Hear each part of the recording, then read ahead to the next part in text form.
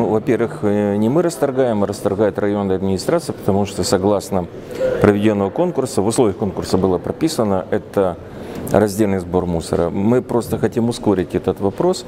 Э, В настоящий момент э, заключены договора на раздельный сбор мусора есть с фирмами, которые занимаются переработкой этого вторсырья, назовем это так.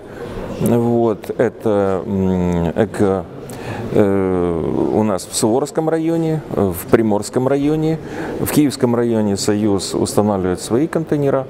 И э, также будет э, в Малиновском районе. В Суворовском районе уже часть контейнеров установлена и по факту они докупаются.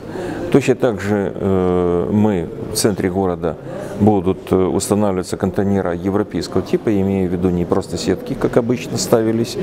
Вот. Точно так же будут э, организован сбор и в Малиновском районе. Ну, это требование закона об отходах. У нас в этих э, трех районах э, не сетки, а обычные евроконтейнера, а сетки фирма «Союз» установила на поселке Таирова. Это их имущество. Поэтому э, каждая фирма, скажем так, э, отрабатывает этот вопрос индивидуально. В эти контейнера, во всяком случае, в евроконтейнера будут укладываться сухой мусор, то есть не только пластик, но и э, стекло, бумага, э, металл в виде алюминия. Потому что черный металл обычно, он сразу изымается из мусора, его люди сдают на прием вторсырья и зарабатывают на этом деньги.